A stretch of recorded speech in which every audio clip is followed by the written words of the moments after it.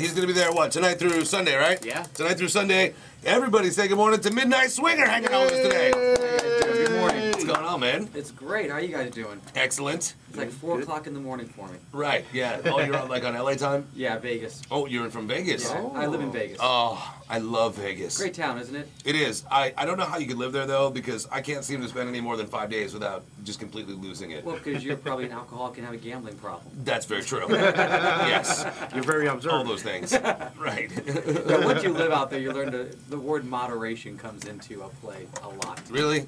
So See, because I don't even moderate even when I come back here. I'm still all about the, the Indian casinos and going to the bar and having rum runners. I was actually staying at the hotel this morning, and I got up at six o'clock Uh-huh. um, to get picked up to come uh, to come here. And down the lobby, I kid you not, it was like um, the AARP had a convention, and there's like, and they're- I guess they've been up since four.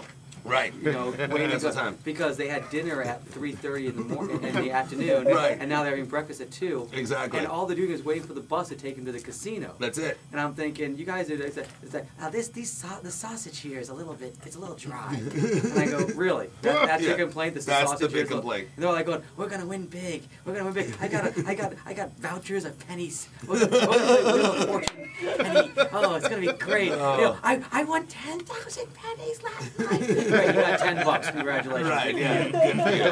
See, That's I, fun. I, I, w- back in the day, I mean, I'm 40, Uh-huh. and when you know living in Vegas was a time when you actually had to carry around a bucket of quarters. Oh my And you had to pull. I know. Look how young you are. Yeah. And you had to pull the handle. You know. What? and Now, now you get these slips of paper. I mean, real gamblers. Yeah. Back in the day, even like 80, 90 years old, they had their oxygen tanks. They're wheeling that behind them. They're dragging a, a 20 pound bucket of quarters behind them. Right. They got one arm stretched out like uh, uh, Stretch Armstrong. The other Armstrong is like Jean-Claude Van Damme's like. no mercy. They're attacking it. That's beautiful. They're making munchies here now. All Yeah. you need to do is just, you know, it's it's all credits now. Yeah, but but it's it's that fake sound of money falling Yeah. that bothers Ding, me. ding, ding ding ding, ding ding ding ding ding Right. ding ding ding ding. They have actually. I think we have that sound effect in here somewhere. it's actually pretty funny. That should be everybody's Motorola Sprint ringtone. Just Right, to- I yes. mean, if you never want to gamble again, every time your phone rings, ding ding ding ding ding ding ding ding ding ding ding. It is right here. ding, ding, ding, ding. There it is.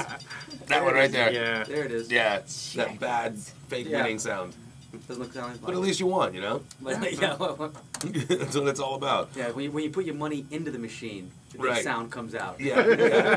exactly. It's because they won. Because they won. Yeah. Yeah, we're gonna win big. No, you're not. No. I've been to the casino. Stay around long enough, you're gonna lose it all. That's right. That's the way that it works, right? Well, the, the bet, uh, when I was uh, at Bally's years ago, back in like 93, 94, the pit boss said if you your best bet Vegas, if you had like five thousand dollars and you want to double it, the best bet is to go to any roulette table, pick red or black. That's Uh-huh. your that's your those are your best odds. That's it. Is the best like odds. 50-50. Yeah, it, it- well, it's more like 47, 47 because there are two green. Uh-huh. Um, but um, if you like, go, I'm gonna play blackjack. I'm five thousand dollars. I'm playing blackjack for seven hours. Yeah, You're yeah. gonna lose five thousand dollars. Yeah, dollars. you will. Oh, yeah. yeah. You'll be drunk as hell. You'll have lost five thousand Well, dollars. because Vegas loves to like going. It's like going, hey, welcome to the uh, five dollar uh, blackjack table. Can I offer you a drink? Yeah. Why, yes, you can. Well, thank you very much. Yeah. Three minutes later, hey, welcome to the five dollar blackjack table. Can I offer you a drink? Well, that'd be fantastic. Right. Next thing you know, it's seven in the morning. You lost five grand. yeah. And they're like going, what happened to all my money? Well, your drinks are now gone too. So how, how's Right. Yeah. You gotta go. No more money. No more drinks. That's right. That's the way that it works. Damn it. That's crazy. What a weird, messed up town. I mean, it's a it's a great town, but it's just weird. It's it's gotta be very surreal living there. Well, you get used you get used to the whole vibe of Vegas once you live there. You learn all the inner workings. It's kind of Uh-huh. like um, it's kind of like if uh, you go to Magic Kingdom, Right. And you get to go to Space Mountain and you get to see it with all the lights on. Yeah. You think he's like, oh my god, is that duct tape holding the track together? exactly. so you kind you kind of see the inner workings as far as Right. you know what really goes on. What are, what are some like tips? Of, if, if someone's gonna go to Vegas, what's something that they should know? Like they should do. Don't should watch The do? Hangover, then go to Vegas and try to recreate it. Oh, I'm, or, tell- I'm, or you're I'm living in Las I'm telling you right now, you throw a mattress out of a window at Caesars, they're gonna figure out where it came from, Yeah. and you're gonna go to jail. Very true. That's very, very true. And, and- and getting tasered ain't gonna get you out. No, not even if you take one in the head. We have so many college kids coming out going, "Hey man, we saw the Hangover on the flight over on our iPods, man. Oh, We're gonna do the whole thing. We gotta find the wedding chapel. Where's that wedding chapel guy? Really? Yeah, Really? that guy. Yeah. Who's a professional comedian who you might have seen Yeah. many times. Yes. Right, yeah. So how are you? What, what great. your shtick? Tell me about The you shtick? The Midnight Swinger. Midnight Swinger. It's a it's an old Mel Torme song about Okay, it, uh, okay. called the Midnight Swinger, and uh, I do a Vegas style show. I perform at the Riviera. Right, right. And I uh, take my Vegas show to uh, the rest of the country. People who can't go to Vegas, I bring a little bit about what a Vegas show feel, the vibe of a Vegas show. Now there's uh, there's some swinging cats out there in Vegas. A couple, one or two. A couple. One or two. You ever run into uh, our good pal Richard Cheese out there? I, I I met Richard when I don't know Richard, but Okay. I met him. Um, Friend's a strong word. uh, well, I mean, but uh, I know who he is, and we've shook we shook hands a couple times. I've been to his show. I think he's been to mine. So So should I take all my money that I have in my pockets and throw it out the window on the drive over to Captain Brien's so it feels like Vegas? no, So I can like you no. know. my- I, I, what? Here's how I feel like Vegas. Come to the show. I'll punch you in the gut. Okay. Then I'll kick you in the balls, and then I'll take your money, and then you'll be like, "Oh, thank you, thanks for letting me come to your show." And you'll spend, That's uh, like Vegas. You'll spend forty dollars on ten chicken wings. Who's gonna get dessert, Captain Brien? All like- this and no flight. So, so it seems to me like that, that you and uh, Richard Cheese should do some somewhat of a tandem type show together in Vegas. I mean, I think this would be this would be a huge success. Now. Well, Rich, Rich is doing very well. I'm doing very well. Maybe one day there'll be a uh, there'll be one of those um, Frank Sinatra duet albums that Right, come out, and all of a sudden Richard Cheese and me are doing something. Then maybe him and Willie Nelson will do something. you never know. So now, where are you where are you from, Swinger? I, I, I'm from New York, but I live in Vegas now. Okay, and how long have you been in Vegas for? Oh, about 12 years now. That is some city. How do you not get in a lot of trouble there, or do you get in a lot of trouble? I don't drink. I don't smoke. I don't do drugs. What do you do? What's the Um, matter? Gamble.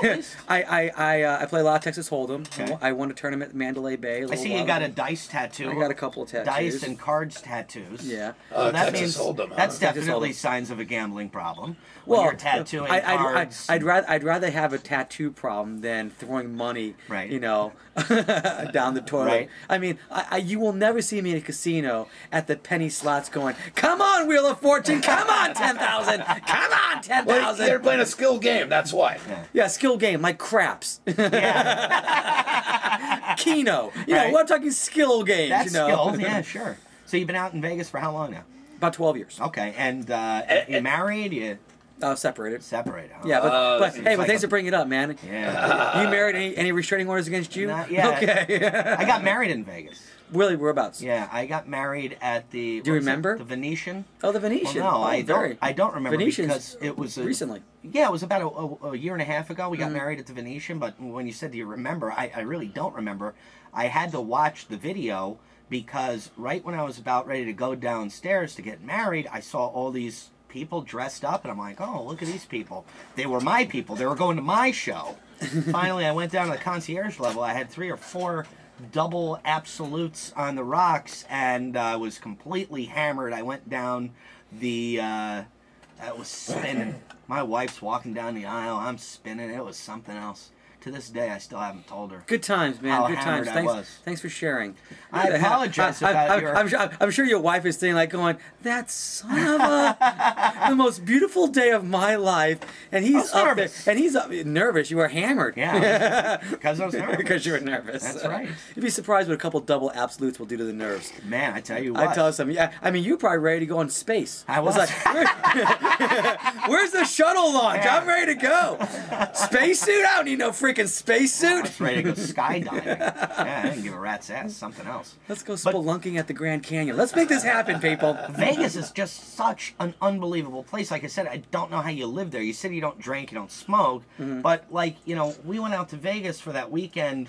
You know, he doesn't drink either. Bob doesn't, but uh, my But, friend. but I'm not fun in general. So. No, he's not. my friend over here to my uh, to my right, um, Chris. I'll make a mistake or he- two. He is. He likes having a good time, and I just couldn't get the glass of alcohol out of my hand. And I think for the, the fifth or sixth day in a row in Vegas, I was starting to lose my mind. I felt like Jack Nicholson in The Shining. I was like, oh my God, I gotta get, I gotta get out of here.